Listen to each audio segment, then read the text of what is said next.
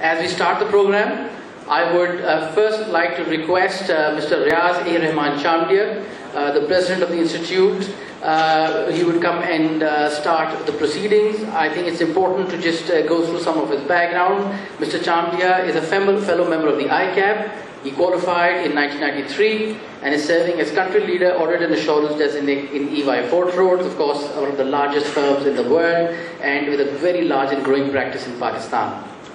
Um, and he has been a member of the EY Global uh, family for the last 19 years. He has been elected as the president of ICAP for 2017 and 2018. He has also been an elected member of the council for the years 2013 to 2017. So that is a background that tells you of the efforts that are being put right from the top to make this conference a success. And of course, the key is to give back to the profession. So, ladies and gentlemen, may I please request you to put your hands together for the President of ICAP, Mr. Riaz A. Rahman Chamdia. Thank you so much.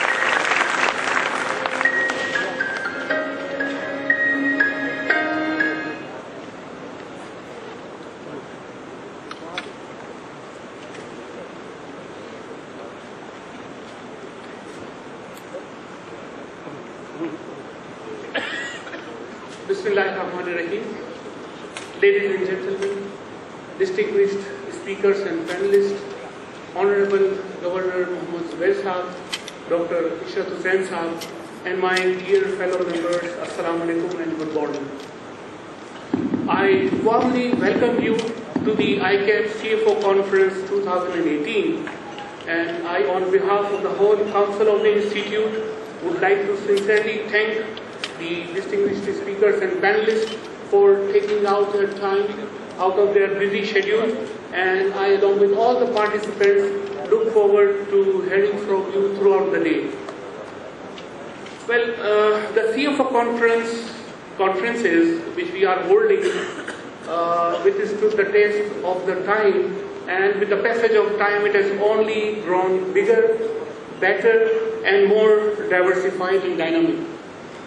With more than 1200 C-suite professionals and thought leaders from the business and professionals across 300 uh, professionals from the industry, profession and the business is the hallmark event of the institute. And, and, we try to gather all the professionals from these uh, businesses to get together so this conference provides a perfect opportunity for all our professionals for the, and the thought leaders and the business uh, professionals to discuss relevant issues, current issues and challenges which we are facing being uh, accountants and, and uh, other uh, fields as well. And uh, to take away learnings from the eminent speakers uh, throughout the day.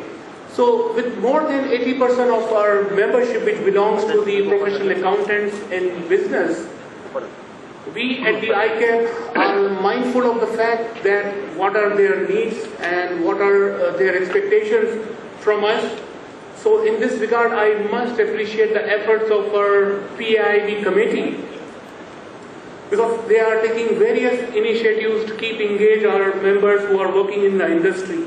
And this uh, appreciation is not only local, because let me tell you, the ICAP PIB committee was, was featured as the most vibrant and role model committee by the International Federation of Accountants. So, applause for, for the whole PIB And let me tell you, it's a huge achievement not only for the institute but for the branding of our homeland, Pakistan. Uh, I think, let me tell you one more thing, uh, some people may not be aware of that. In last many years, we have been uh, representing on the IFAC boards in various capacities, whether the Accounting Standard Board or International Auditing Standard Board, International Public Sector Accounting Standard Board, Compliance Advisory Panel, Power Development, and, and, and, and other uh, committees as well. So it's a very strong representation of ICAP, though we are very small uh, institute and a small membership, when compared with the leading institute, but I'm, I'm proud to say that our representation is very strong as far as this region is concerned.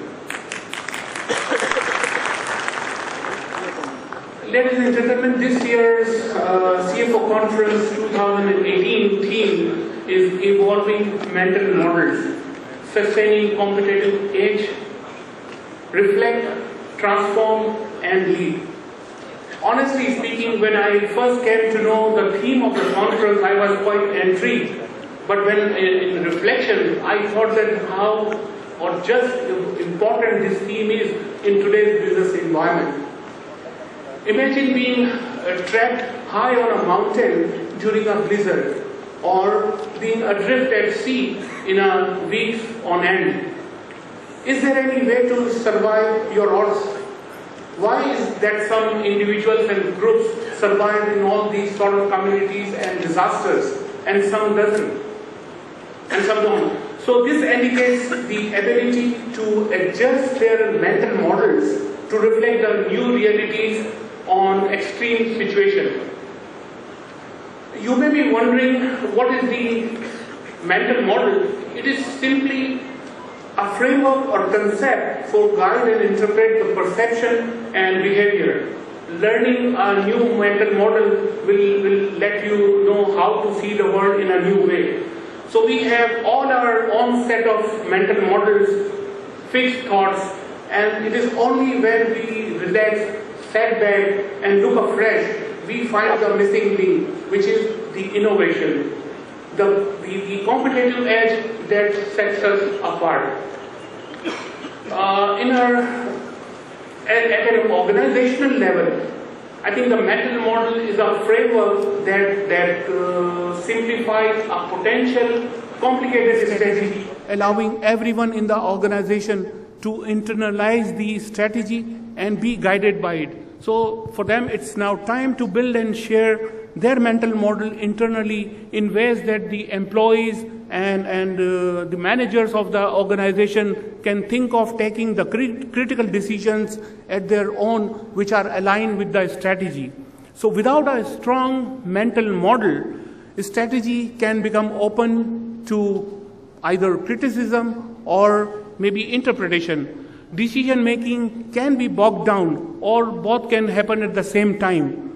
So, given the pace of the changes uh, happening around us in the today's business environment and the number of options available, business functions, particularly the finance function, is at the crossroad or maybe at a turning point.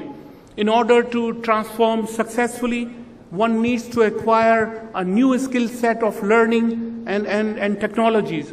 They, are, they require the new team members and new way of working, ultimately focusing on system thinking. It is only with the adaptive mental model that business leaders will be able to survive, create a new level of insight into their own business, find new growth opportunities, and guide successfully strategy development. So I will not dilate too much on the mental model because we all are waiting to um, hear from the experts in this field throughout the day. The CFO Conference 2018 uh, is providing a fantastic opportunity to all our members to not only to contact with the peers, sharing their experiences, and, uh, but also open to discuss and dilate the recent challenges in the, in the industry and discuss the current issues and challenges by listening to the eminent speakers as well. So the participants will be able to appreciate the why of the paradigm shift required, understanding growth before optimization. Our members, we are proud to say that our members are enjoying Uh, or and recognized as a top class business leaders in the public and private sector, not only in Pakistan but global arena as well. And with the changing business environment, the expectations from the marketplace is getting more and more. They are expecting more of a chartered accountant, and we at the institute are mindful of the fact, and our PIB committee and institute are committed to provide you all the avenues and pl- platform to keep pace of the changes which are happening in the business world. We think that our membership is the soul of the Institute, united by the forces of integrity and ethics, yet differing in, in the individual needs. The engagement of uh, professional accountants in business with the Institute will not only help us to understand their exact needs and expectation, but to also to create a value in the matters of the Institute. For the members in practice, I must say this is a time which is also very challenging, but it is also exciting as well. And with so many new developments taking place, this is the right time to evolve your mental models, whether you are working in the industry or in the profession. My dear members, my advice to you is to stay connected with the Institute, participate in its various committees, and attend regularly all the events organized by the Institute. Our Accounting Standard Board, Quality Standard Board, Taxation and Fiscal Reforms Committee, Education and Training Committee, and all other committees are doing a commendable job. A lot of applause for them as well because really they are taking very hard, hard work for the welfare of the members and the institute. In the end, once again, I must uh, appreciate the efforts of the ICAP PIB committee along with the executives and staff of the institute for their untiring efforts to put together once again a fantastic and excellent conference ahead uh, of you.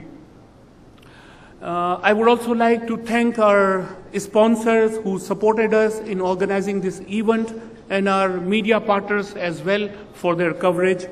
So I look forward to your continued participation in the uh, events organized by the Institute and thank you very much.